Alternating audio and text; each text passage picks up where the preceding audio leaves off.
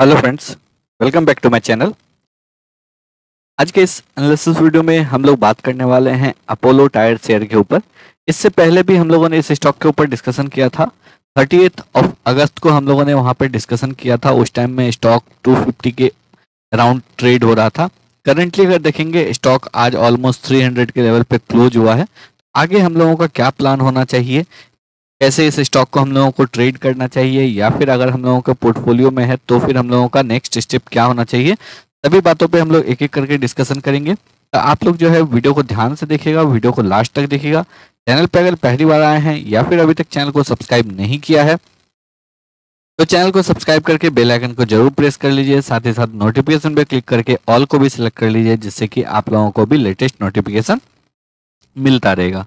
तो चलिए अब बात करते हैं अपोलो टायर शेयर के ऊपर। अगर आज यहाँ पे देखेंगे इस स्टॉक में साढ़े छः परसेंट तेज़ी के साथ जो है स्टॉक यहाँ पे आपको क्लोज हुआ है और स्टॉक अपने डेज़ के हाईएस्ट लेवल पे ही क्लोज हुआ है।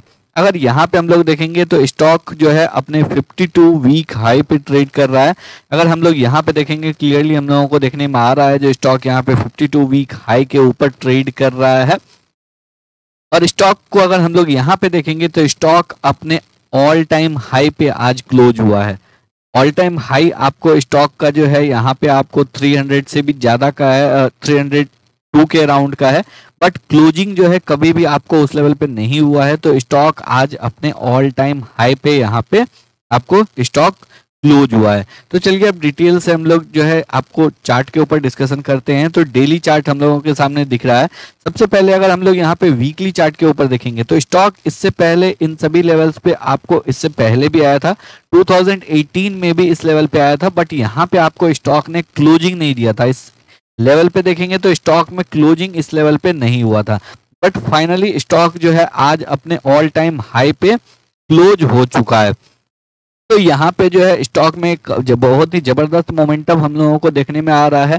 अगर इसी सेक्टर के और भी कंपनी की बात करें तो सी एट टायर में भी जो है काफ़ी अच्छा मोमेंटम हम लोगों को यहाँ पे देखने को मिल रहा है। साथ ही साथ अगर हम लोग बात करें एमआरएफ टायर में भी आज ऑलमोस्ट आपको एट परसेंट का यहाँ पे हम लोगों को गेन देखने को मिला। तो इस सेक्टर में जो है आपको काफ़ी बुलिसनेस अभी दिख रहा है। करंटली अगर हम लोग यहाँ पे चार्ट पैटर्न के ऊपर बात करें तो वीकली चार्ट जो है, ये आपको कल ओवर होने वाला है। लेकिन अगर वीकली चार्ट के ऊपर हम लोग यहाँ पे देखेंगे तो क्लियरली हम लोगों को दिख रहा है कि आपको 250 के लेवल के ऊपर स्टॉक में एक अच्छा ब्रेकआउट हुआ है। ब्रेकआउट होने के बाद स्टॉक करेंटली आपको 300 के लेवल पर ट्रेड कर रहा है। ऑलमोस्ट आपको यहाँ से जो है स्टॉक 15-16 परसेंट जो है आपको ब्रेकआउट लेवल से ऊपर अभी ट्रेड कर रहा है। वीकली चार्ट के बेसिस पे अगर हम लोग यहाँ पे देखेंगे तो वीकली चार्ट के बेसिस पे क्लियरली हम लोगों को लग रहा है जो एक रिट्रेसमेंट यहाँ पे पेंडिंग है।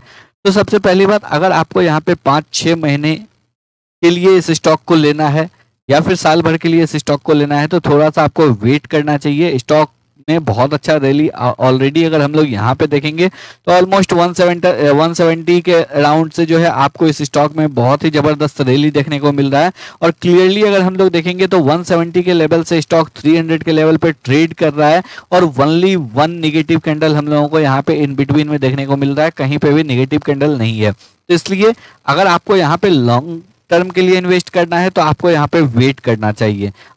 ऑलरेडी आपके पोर्टफोलियो में है, नीचे के लेवल से तो आप कंटिन्यू होल्ड करके रख सकते हैं, लेकिन फ्रेश पोजिशन लॉन्ग टर्म के लिए बनाना है तो आपको यहाँ पे वेट करना चाहिए। एक रिट्रेसमेंट का वेट कीजिए, उसके बाद आप एंट्री कर सकते हैं। अब अगर यहाँ पे हम लोग बात करें, जो स्टॉक में अगर शॉर्ट टर्म के ट्रेडिंग के लिए अगर हम लोग यहाँ पे चाहे वन वीक या फिर आपको four to five trading session के लिए तो हम लोग यहाँ पे शॉर्ट ट्रेड यहाँ पे ले सकते हैं। हम लोगों का जो है एंट्री होना चाहिए आज के हाई के ऊपर। अगर यहाँ पे हम लोग देखेंगे तो आज का हाई है आपको 301.5 का। तो 302 के ऊपर अगर कल ये स्टॉक निकलता है तो हम लोग यहाँ पे जो है एंट्री आपको ले सकते हैं। नीचे की साइड जो आपका स्टॉप लॉस होना चाहिए स्टॉप लॉस होना चाहिए 275 के नीचे। तो 25 26 पॉइंट का आपका जो है ओवरऑल यहाँ पे लॉस होने वाला है। लेकिन ऊपर की साइड आपका जो है टारगेट होना चाहिए मिनिमम 50 टू 70 पॉइंट का मिनिमम टारगेट होना चाहिए। उसके ऊपर अगर निकलेगा तो आपको 100 पॉइंट तक का भी टारगेट देखने को मिल सकता है। लेकिन थोड़ा सा इसमें भी टाइम लगेगा, ये भी आपको बिल्कुल ही क्विक नहीं होगा। इसमें भी आपको वन मंथ तक का टाइम लग सकता है, इसलिए आप ये मत एक्सपेक्ट करना जो आपको यहाँ पे जो है बिल्कुल ही क्विक रैली मिलने वाला है। आज लिए कल आपका टारगेट मीट हो जाएगा। आपको टाइम लगेगा, लेकिन यहाँ पे जो है आप एक छोटा सा ट्रेड ले सकते हैं, लेकिन बिल्कुल ही लॉन्ग टर्म के लिए लेना है तो यहाँ पे जो है थोड़ा सा आपको वेट करना चाहिए, क्योंकि स्टॉक ऑलरेडी ऑलमोस्ट आपको 100 परसेंट का रैली कर चुका है लोअर लेवल से तो थोड़ा सा यहाँ पे आपको स्टॉक को हॉल्ट करना चाहिए। उसके बाद फिर वापस से रैली कंटिन्यू हो सकता है। तो आई होप आप लोगों ने सभी लेवल्स को नोट डाउन कर लिया होगा। तो अगर आप लोगों को वीडियो पसंद आया हो एनालिसिस अच्छा लगा हो वीडियो को लाइक करके चैनल को सब्सक्राइब ज़रूर कर लें।